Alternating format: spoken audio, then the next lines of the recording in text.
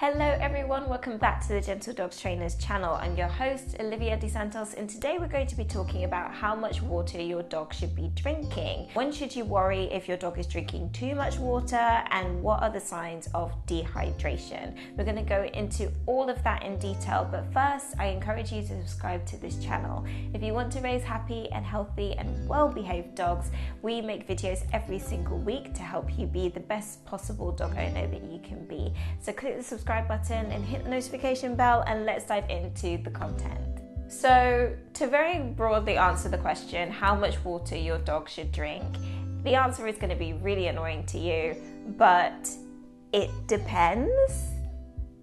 I know, I know, I know, don't shoot the messenger, okay? The science says in general, dogs should drink approximately 60 milliliters of water per kilo of body weight each day. That's according to Pet MD. But as with everything, there are various factors that can impact how much your dog drinks on a daily basis, and this kind of fluctuates to a degree. Obviously, that science that scientific version is a broad guideline, but here are the seven factors that could impact your dog's drinking habits. Number one is the heat. If you live in a hot country, I live in a hot country, uh, then your dog might drink more often during the summer months than they do in the winter months. This is a natural part of them staving off dehydration. The next factor that could impact first is a homemade diet or wet dog food. So we've done a video on homemade dog food somewhere above there and you'll see that it actually has a very high water content because of the fresh veggies that are involved and if you have raw elements like organs um, added in, then these have a water content too that dry dog food does not. So if your dog is on a wet dog food diet or a homemade dog food diet, they might drink less often because they're getting some water content from their food. The next factor is medication. So there are certain that your dog can be taking that increases their thirst. For example, furosemides, I'll put that word on screen um, is used for heart conditions to treat heart conditions and this encourages your dog to pee more often and that encourages them to drink more often there are certain, certain anti-inflammatory drugs as well that can increase the level of thirst that your dog has. So, do check the label of the medication that your dogs are taking because that could be impacting how much they drink. The next factor on the opposite end of the spectrum is illness. So, for example, diabetes, Cushing's disease, cancer, kidney failure, liver failure. Um, excessive thirst can be one of the first signs that your dog is struggling with one of these ailments.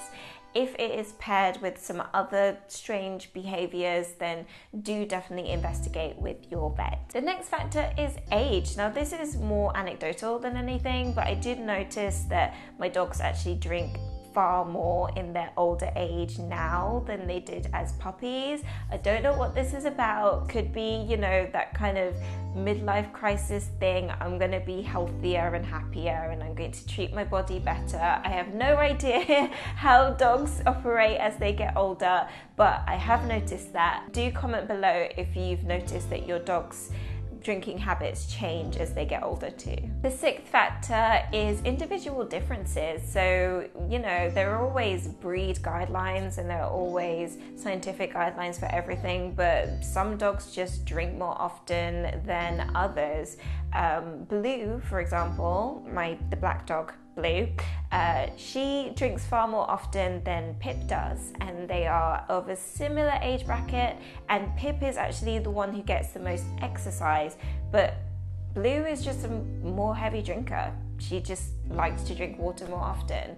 And that is possibly just part of her personality, just part of her makeup, and that is totally, totally fine. And the seventh and final factor that can impact your dog's thirst, which I previously alluded to, is exercise. So if your dog is exercising a little bit more, then they could be drinking more often as well, so that they don't end up dehydrated.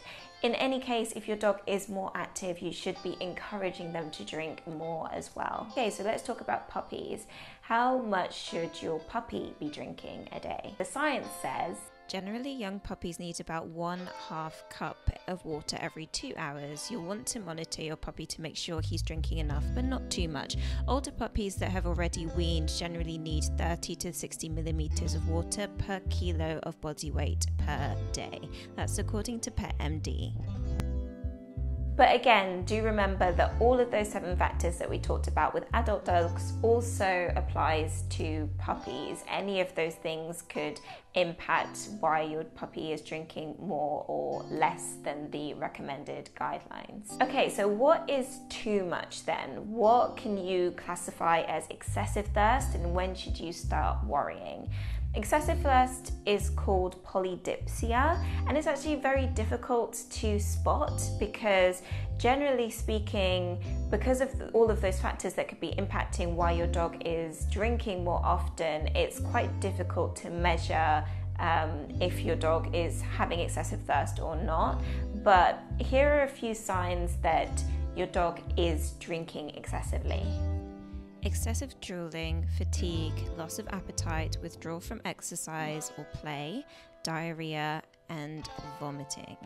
If you'd notice that your dog is drinking an excessive amount paired with those other symptoms for over a week, then please do involve your vet. If it's just been a day or two, it might go back to normal. It could just be a fluctuation in thirst for that day. Maybe it was a day that they were exercising a little bit more, or maybe it was a day that the temperature rose, for example. So do give it a week to actually properly measure rather than a day or two, because fluctuations do happen. On the opposite end of the spectrum, what about dehydration? Here are the signs that your dog is dehydrated excessive panting and drooling, saggy skin, dry nose, tiredness, diarrhea, and vomiting also, and sticky gums and or thick saliva.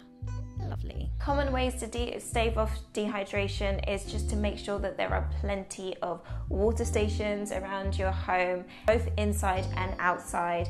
Make sure that you have a reliable dog water bottle. We have uh, reviews of the best dog water bottles on the market in Australia, so do click the description box down below for that. Once you have a really good dog water bottle, you can encourage your dog to drink on the go. So when you're hiking, when you're on long walks, when you are traveling, just make sure that your dog is as hydrated as possible. I've been Olivia DeSantos for the Gentle Dog Trainers channel. I hope you've enjoyed this video. If you liked this one, you'll really like this one. Please do subscribe to the channel for more videos like this every single week and I will see you next time. Take care. Bye-bye.